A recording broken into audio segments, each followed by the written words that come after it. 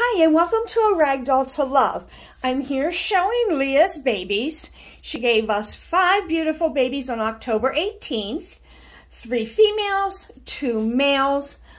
They were born on October 18th and ready for their forever home anytime after January 24th.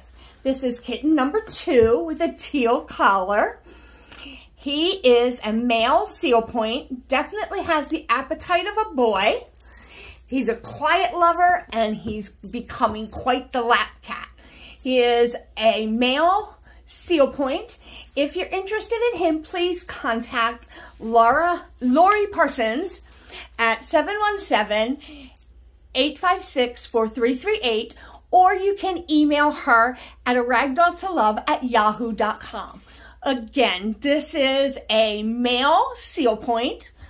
He is kitten number two quite the lover, and a lap cat. Please contact Lori Parsons at 717-856-4338 or you can email her at a ragdolltolove at yahoo.com. Thanks for watching. Bye.